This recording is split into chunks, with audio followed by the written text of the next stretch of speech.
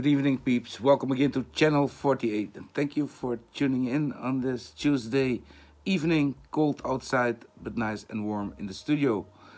Today, I'd like to present to you my very first and newest Pear Debian OS operating system that you can run straight off a USB stick.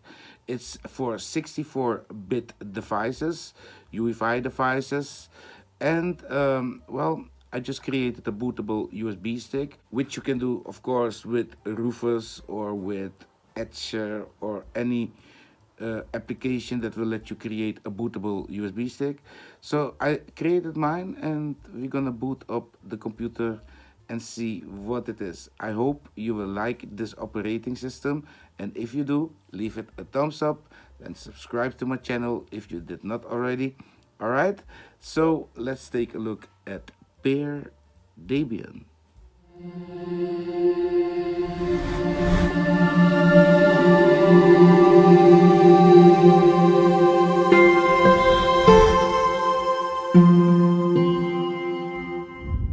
The computer I'm doing this onto is a HP i5 ProBook 67 something B and um, I'm gonna reboot the machine.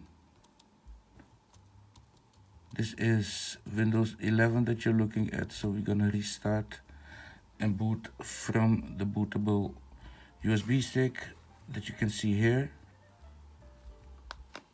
At least, yeah.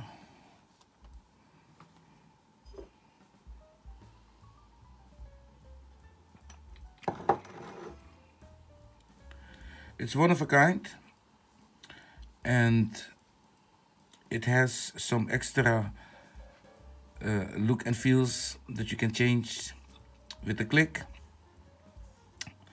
to bring you a different look and feel and experience. Well you're gonna see it. We're gonna boot from the bootable USB stick by hitting F9 on this computer. Could be something else on your computer and we're gonna boot from the external USB stick. And what you see here is the start screen and you cannot see it so good, but in the left corner, there you can choose what you want to do. If you want to boot the system installer or boot into live graphic modes or in debug mode, in every normal situation, you should be able to boot the system live. Uh, special credits goes out to Franco, but not to forget the founder Kendek. And a big thumbs up, of course, to Debian for the main operating system. There we go. Booting up, Pear Debian. Very lovely, nice system. I started last night with uh, with building, and this morning I continued and finished it. The distro is 2.3 gigabytes. I will upload it if I see that some of you like it. This is all happening straight from USB. You can as well install the system I have videos how to do that, how to install a Systemback distribution.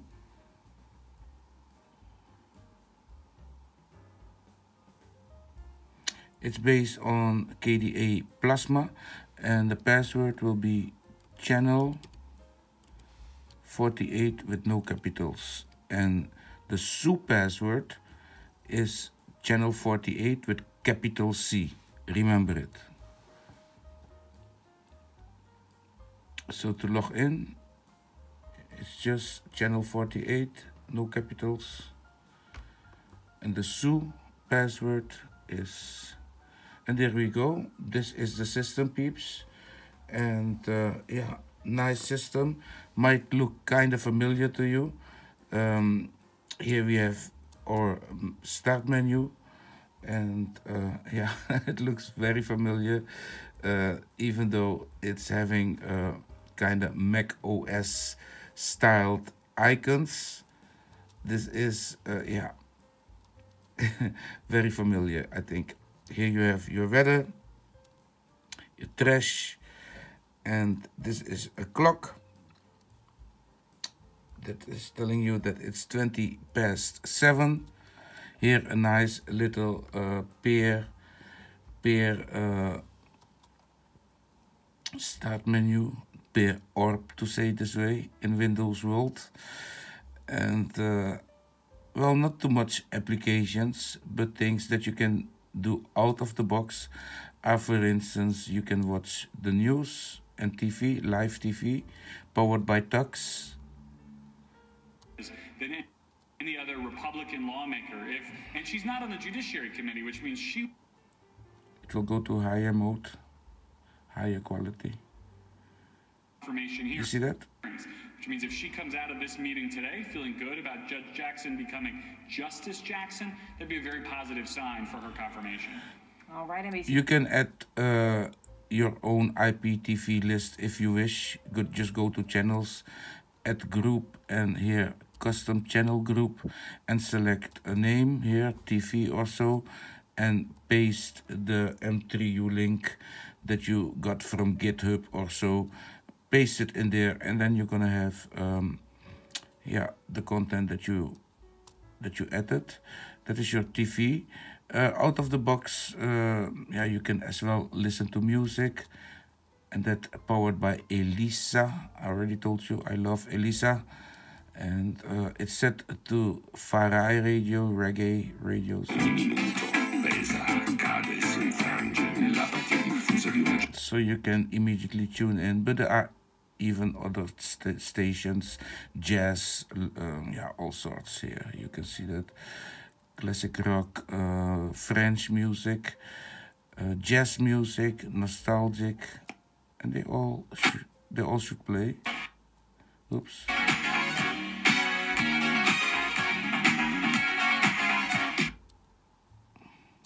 Jazz.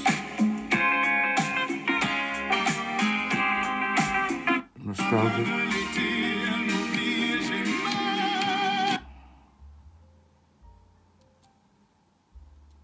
Yeah. Etc. Instrumentals. This one is not playing. Hey, somebody should update this. Okay, it's playing. stop.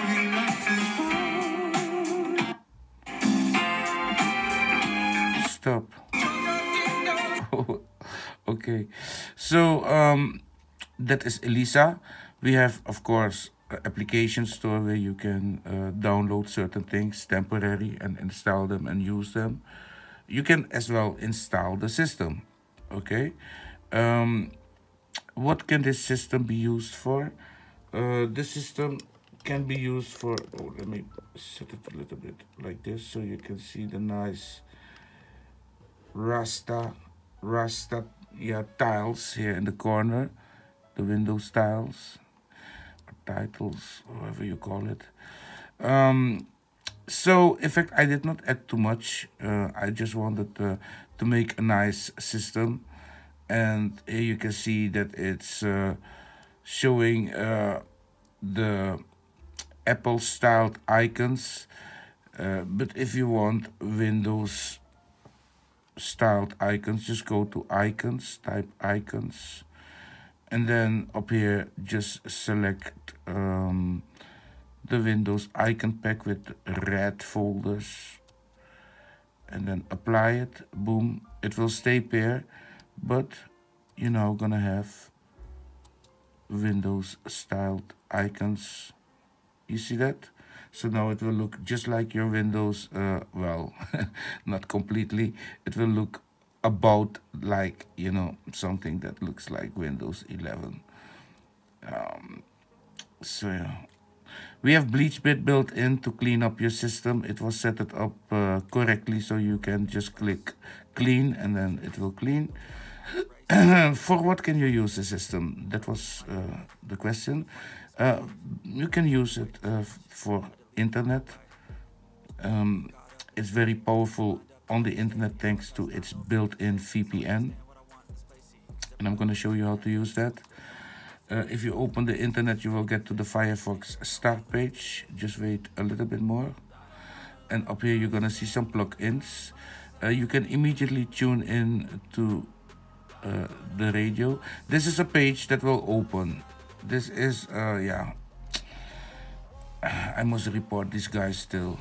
Um, this is uh, your radio, and it was set to Suriname. I was listening to Suriname music.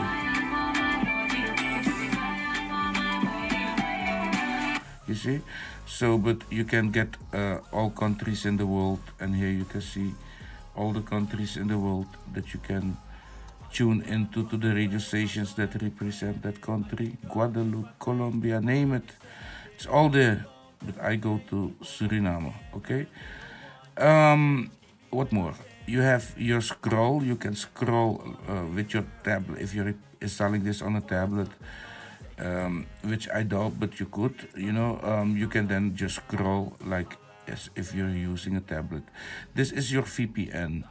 Uh, just hit got it and then select the country that you want to connect to. For instance, uh, UK and we're just gonna go and connect to UK we're gonna enable the blockers okay? Malware blocker WebRTC blocker and bypass local network. Now um, we're doing all these things but every time when you're gonna boot the system you will have to do this again. You don't have to really turn off the system. You can just put it uh, to sleep and then next day you know just open the lid and then yeah i'm using a external uh, cable here for the internet you see so when i go to bed i just pull out the cable and i put it to sleep so it can as well not wake up via LAN, you know, or whatsoever. So it's just not connected and it doesn't know my password for the Wi-Fi. So it cannot, it can never, nothing can happen to it. And it just goes to sleep then you don't have to boot up and, and, and do all these things again, you know? Uh, so yeah, now, uh, if you're gonna check my IP, oops, yeah, takes a second.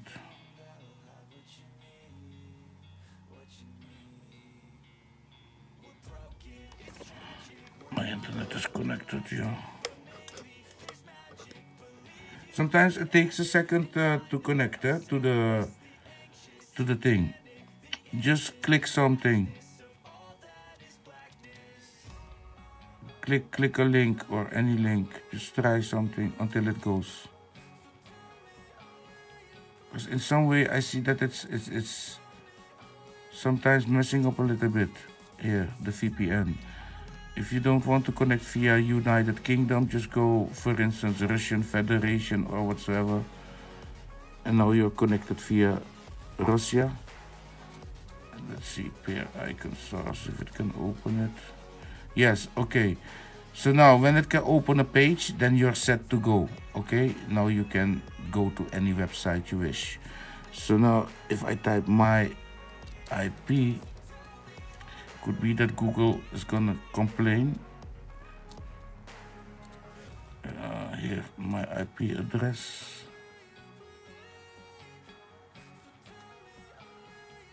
You see, these kinds of things you might get on on certain certain sites. Wat is de locatie van mijn IP-adres? Kijk hier. Loading.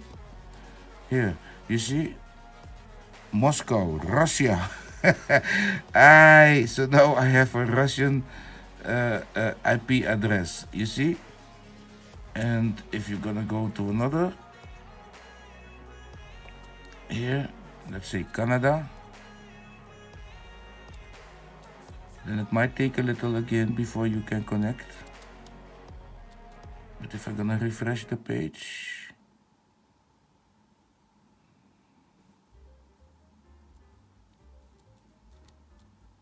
we first go to here okay and then we go back loading now it's saying that hey How can it say that I'm in Amsterdam? This is not my IP address. And it's set to browsing in Canada.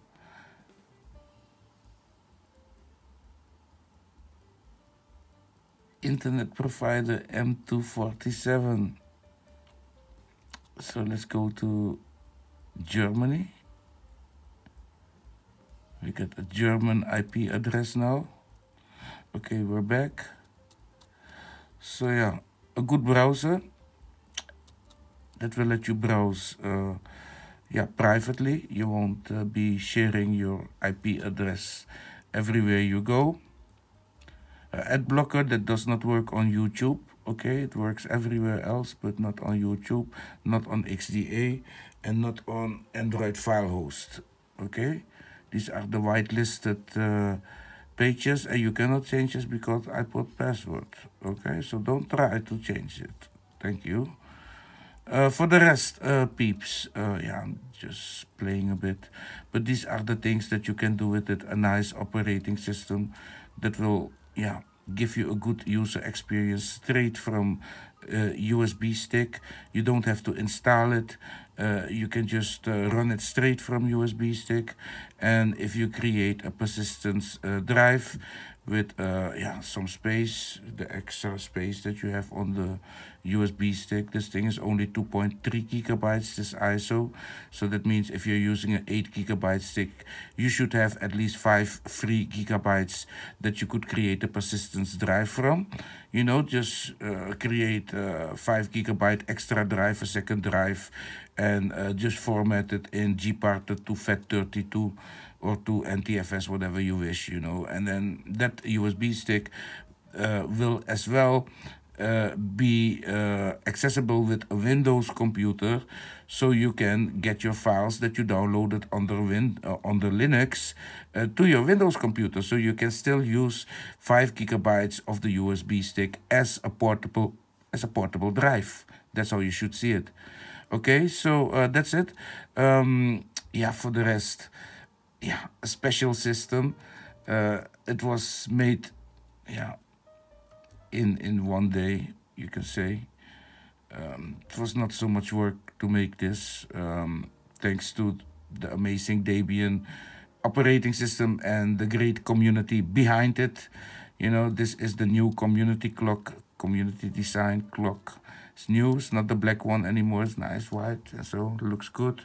As well, the, yeah, the weather, uh, widget looks uh, amazing in V2, I think. Yeah, I'm gonna set my icons back because this is a pear system. And yeah, pear and apple, they are kind of, you know, family. So I'm gonna put my apple icons again. so the weather as well gets more colorful here. The blue looks beautiful. So yeah uh, peeps uh, i hope you you like this operating system. So um yeah if you want to install it you can uh your Systemback is installed. Password for Systemback will be channel 48 but capital C, channel 48. And uh, yeah, for the rest, peeps, uh, check out the video how to install it if you don't know how to install it. But you can simply install it here, boop, boop, boop. Uh, you put your credentials and you hit next. This is Debian, by the way, and this is not Ubuntu. So you can use uh, a super uh, password, a super user password uh, in this system, but you don't have to. You can as well create one password, just like, you know, in Ubuntu. But you can as well have a user password and a root password, you know, that only the administrator can change things. So you can set it up the way you want uh, during the install. And don't forget in the next step to as well select uh, to uh, as well copy the user files uh, that were used to make the operating system like this. Uh, so you will get the same experience after you gonna install it. So that is it, uh, peeps. Uh, yeah, pear Debian kind of idea that I got, and I like it. I hope you like it as well. Um, for the rest, yeah, qua applications, uh, not too much as I already said, uh, but the most essential. Uh, and I as well added live clone. This one is new. Live clone. It's called live clone. And with this application, you can clone uh, partitions, you can clone drives, you can clone, yeah, you must just check it out. Uh, I must still uh, see how it exactly works, uh, but it's a very nice application, okay? It's called cloning live sticks. You can as well clone a live stick. So yeah, this, this operating system could be cloned the 32 gigabyte stick where this uh, operating system is installed to the, the, the mother OS. I could clone it easily thanks to this application. So this is as well built in peeps. Um, yeah, disk is as well built in this. And with this application, you can as well do amazing things, as you may know. Uh, you could clone a complete drive with this as well. So yeah, this what you can do with the live cloning. Um, you can as well do from here. You can create an image that can uh, as well uh, be used to create a bootable USB stick in Rufus. And then, yeah, just uh, boot it and then it will work. So that is all very amazing, ladies and gentlemen. Uh, yeah, I don't want to make this video even longer, but this is it. Uh, pure uh, Linux GNU. Yeah, check it out. Amazing, sweet, and works. Well, that was it. I hope you liked this video and the OS. If you do, uh, don't forget to leave the video a thumbs up, okay?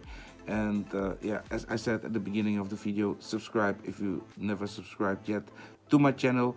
And then you'll be seeing me in the next video again. Au revoir and